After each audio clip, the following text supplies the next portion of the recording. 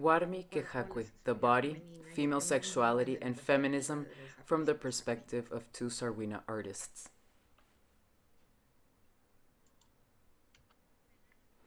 In 2019, artists Venuka Evanan and Violeta Quispe made the paintings Erotismo Sarhuino and Warmi Quejacui, in which they protest violence against women in Sarhua, a rural Andean village in Peru. Evanan and Quispe are the daughters of Sarhuino migrants in Lima and created the works in the style and technique of Sarhua boards, which are paintings on wood produced in that community, with various transformations since at least the 19th century. The Sarhua boards, until very recently, have been produced mostly by men and rarely referred to the body, sexuality, eroticism, or gender issues. Where they have, they are more normative in nature and serve to punish those who break the order of the community with consequences, especially for women. When Venuca Evanan and Violeta Quispe made these two paintings, on the one hand, they caused some discontent among several Sarhuinos who consider that the boards only have to represent the positive aspects of Sarhua. And on the other hand, they caused admiration in the contemporary art world of Lima since the Sarhua boards have been considered until very recently by the art system as objects of quote unquote popular arts, and as such they were conceived only as naive objects or representative of an idealized Andean culture. In this presentation, I will briefly review the context of the production of Sarhua boards and the participation of women in this field. Then I will focus on the work of Venuca Evanan and Violeta Quispe, who use the techniques and figurative style of the boards to represent the experiences of Sarhua women and protest against gender-based violence. In doing so, they question the conventional representations and meanings that have been assigned to the female body in Sarhua, but also deconstruct a series of established perspectives on racialized bodies from dominant groups. Drawing from Maria Lugones' decolonial feminism, I analyze the ways in which these two artists respond to hegemonic discourse, not only in terms of class and race, but also gender. Finally, I show how these two Sarhua artists are challenging the patriarchal social order from their particular experiences, and from there contributing to reshape contemporary Peruvian art. Sarhua boards are paintings on wood made by the people of the Andean rural community of Sarhua, which is located in the Ayacucho region in Peru. Since at least the 19th century, the Sarhuinos have been making these paintings on the occasion of the construction of a new house in order to record, through images and texts, the members of the community who contributed to its construction.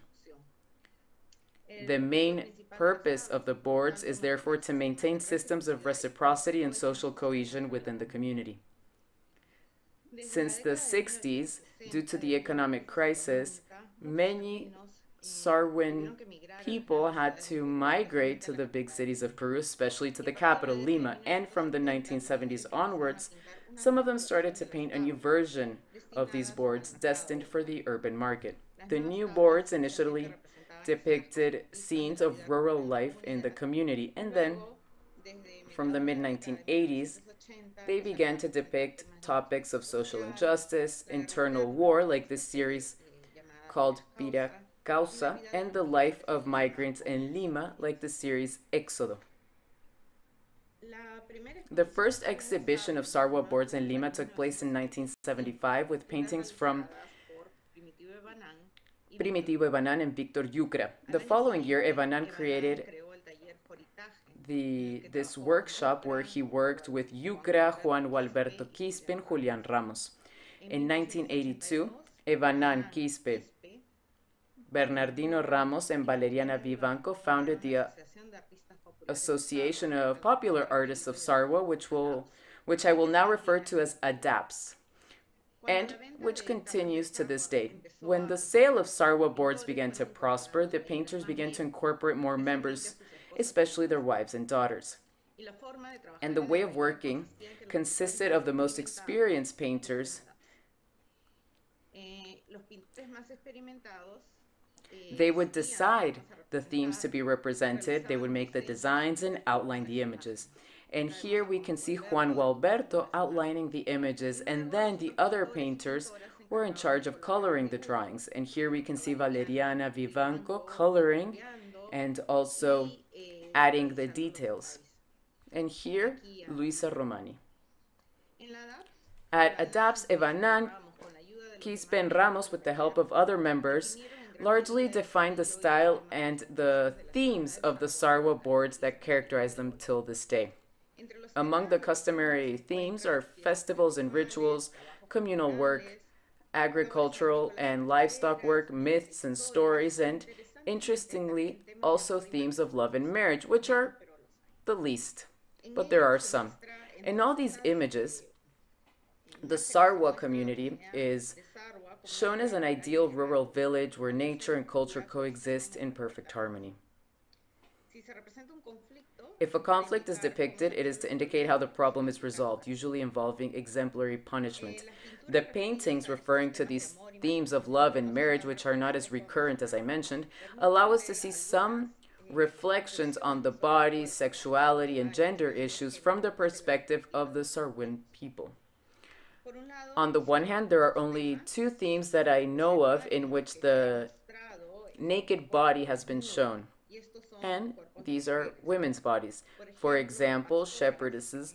And I'm sorry about the quality of these photos, but I took them from Josefa Nolte's book, which is a book published in the 90s, and I don't have access to any other of these photograph photographs. But in any case, we can see here how shepherdesses, for example, here we can see a group of women bathing in the river while a group of men watch them behind the mountains and the women are naked. Or this is the second case, which is Rondai, where you see an unmarried couple having sexual relations and they're discovered by the local authorities. And the only thing we see of the couple's bodies are the women's the woman's breasts. There are also paintings like Makta Kitanakwi, which means to stay with the boy, in which two women fight for a man, and according to the text, the one who wins the fight will marry the man, and the other will suffer the effects of sorcery. Then we have this one, maltrato, mistreatment, which depicts the punishment of a young girl who tries to run away with her lover without her parents' permission. Anthropologists Mary Pratt and Luis Millones, in their study of this set of paintings, indicate that the mistreatment, and I quote them, it is the young girl who is punished for this violation and not the man who takes her away. He remains seated on the horse while the girl is beaten by her father or mother.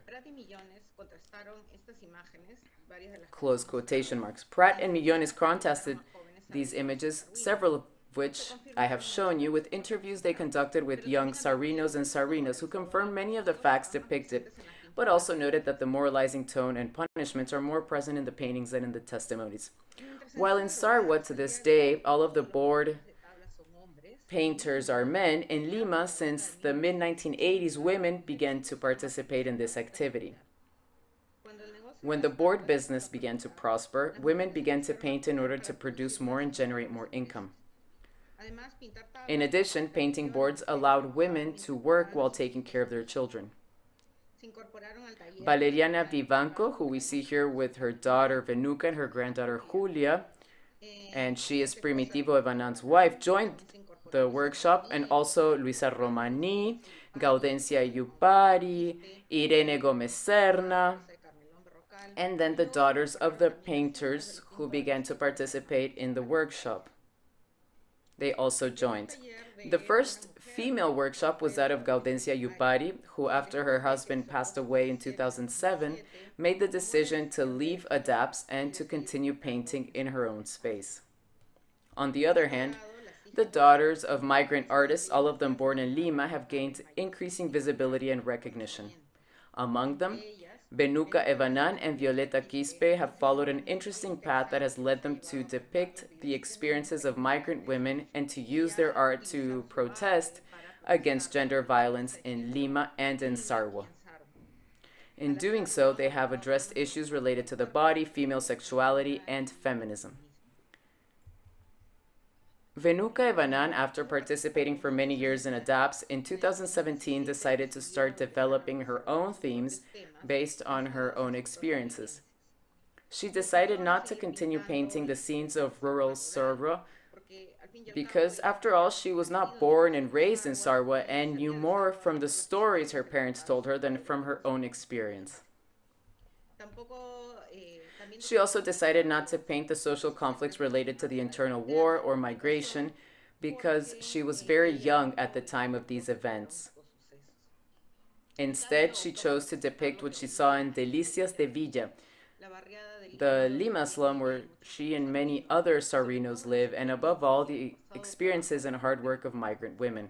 Between 2018 and 2019, she produced works such as El Aguatero de mi Barrio, which is the water cellar of my neighborhood, or the series about the Sarhuino women who have succeeded in the city of Lima. And in 2018, Venuca also produced a work of special significance. She painted her self portrait wearing traditional Sarhuino dress at the Art Lima Contemporary Art Fair, which she had attended a few months earlier. In this image, she is surrounded by a group of artworks that were in fact at the fair. Venuca indicates that through this work, she sought to question why her form of expression, sarhua boards, is not usually considered art, proposing thus a reflection on this obsolete, obsolete division between art and popular art. But on the other hand, in the painting, Venuca is looking specifically at the self-portrait made for the fair by the Lima artist Ginieta Varsi. Venuca comments that she was struck by the sight of a naked woman covered by her hair and asked Varsi about her work. The artist explained that she wanted to talk about the freedom women should have to show their bodies the way they want and not follow the rules imposed by patriarchal society.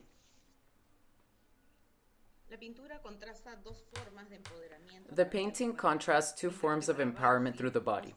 While for Varsi, showing her own naked body covered with her hair is a way of challenging patriarchy, for Venuca, who suffered a case of discrimination at the same fair for attending dressed in her Sarino clothing, showing herself in the image with the clothing at the fair is her way of self affirming her identity and protesting against racial and class discrimination.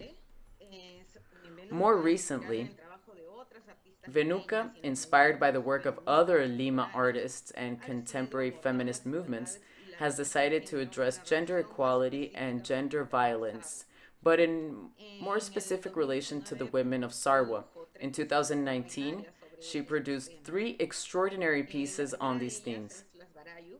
The first of these is Las Barayuj, which represents a group of Sarhuina women holding the sticks that are only used by men in Sarhua when they assume a position of traditional authority. Venuca shows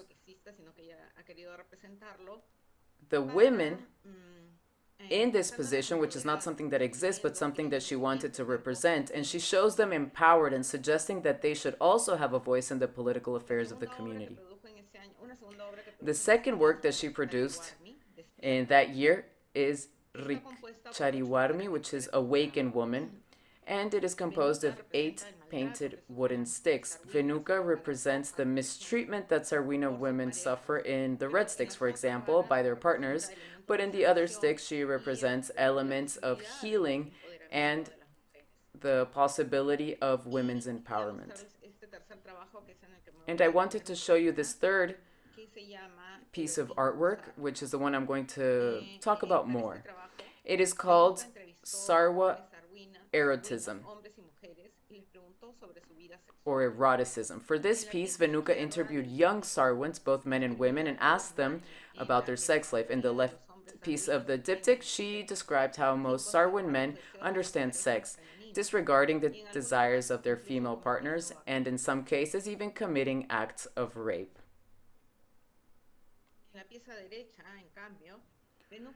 In the right hand piece, in contrast, Venuca described the sexual preferences of her female interviewees and the respectful way they wanted to be treated by their male partners. This part shows two autobiographical scenes that reveal the artist's discovery of pleasure and ends, as you can see at the top, with a scene in which Sarwin men and women receive a sex education class, a desire that Venuca and other Sarhuinas have so that, in general, Sarhuino men and women can have a healthier sex life. I now turn to the works of Violeta Quispe. She also began painting as a child, helping her parents Juan Gualberto Quispe and Gaudencia Yupari. In 2017, when her father died and she had to help her mother in a more sustained way, she was discovering or began discovering that she wanted to dedicate herself to painting. And in 2018, inspired by the work of Peruvian women artists of the collective Trenzando Fuerzas, she began to produce paintings about Sarhuina women and against discrimination and gender violence. She decided that through her paintings, she wanted to make women visible and listen to their own voice. As she herself commented to me, she needed to express, and I quote her, We are here, we are present.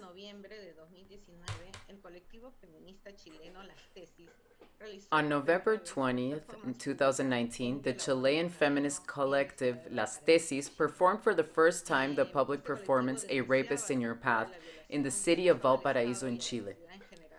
This collective denounced the rape culture and accused the state and society in general for the oppression of women. In the days that followed, the performance was replicated in different cities around the world and made the news, obviously. Inspired by this act, Violeta painted with her mother Gaudencia, and we see them both here, the painting Warmi Quejakui, Woman's Complaint, inspired by the images that circulate of the women who participated in the performance. Inspired by the images circulating of the women who participated in the performance, the painting depicts a blindfolded woman, and you can see her here, a blindfolded woman with her breast exposed and the green feminist scarf. The Sarhuino clothing that the, wom- the woman wears, however, refers more specifically to the violence that the women of Sarhua suffer, which is reaffirmed by the text next to it, which say, Only in the province of Victor Fajardo, where Sar was located, there is a high rate of rape, and most of it is against minors. We complain and they make fun of us. They humiliate us and they undermine our dignity. The state is an accomplice.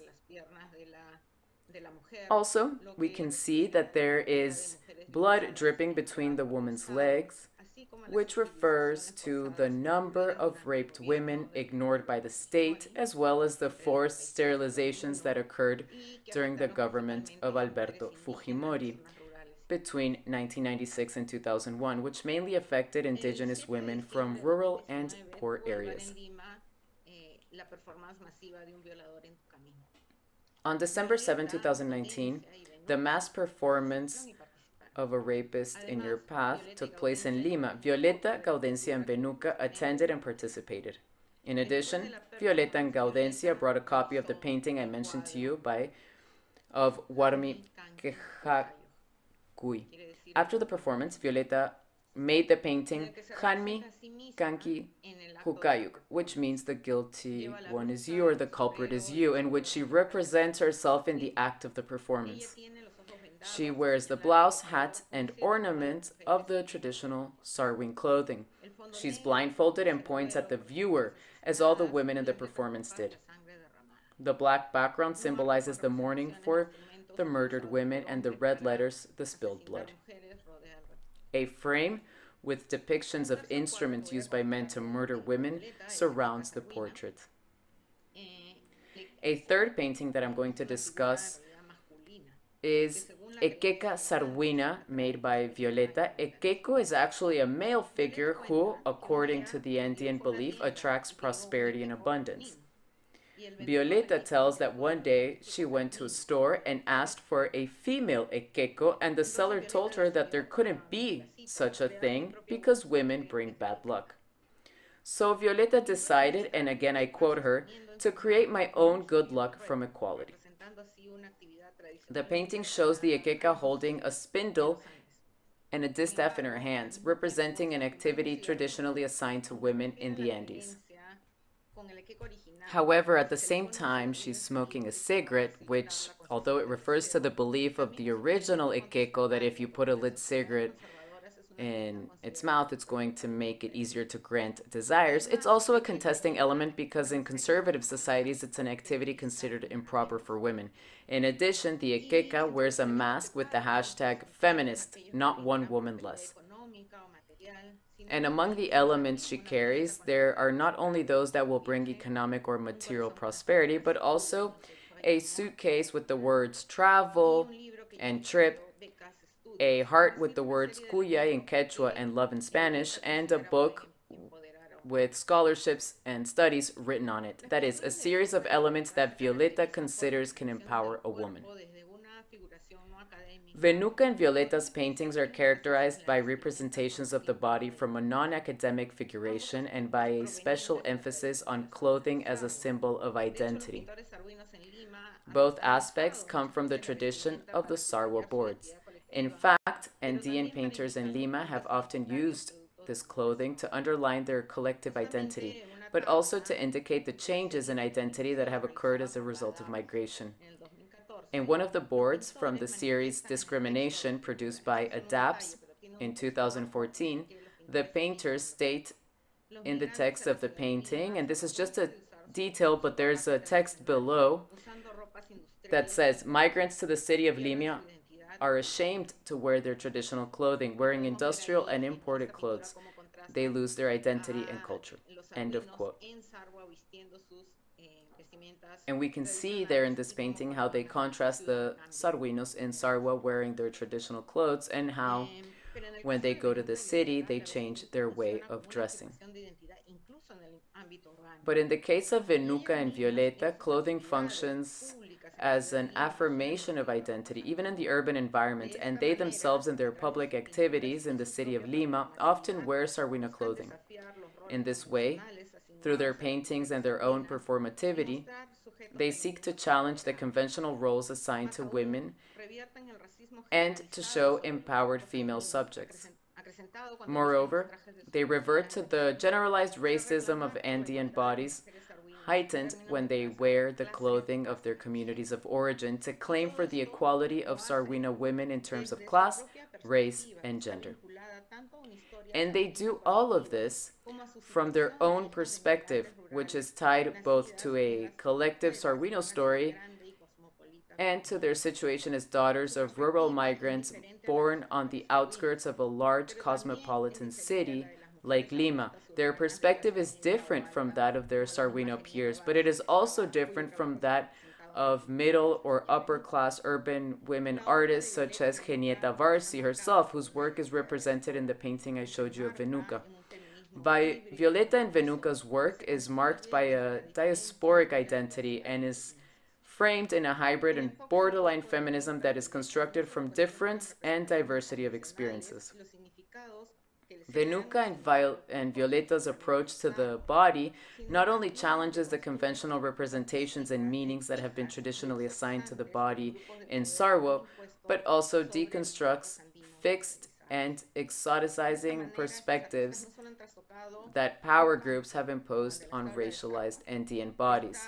In this way, these artists have not only disrupted a field such as Sarhua boards, which is or was largely dominated by male artists and their perspectives, but they have also challenged the essentialist views that the art field used to associate with the so called popular art to produce innovative works that I believe play a fundamental role in the development and reconsideration of contemporary art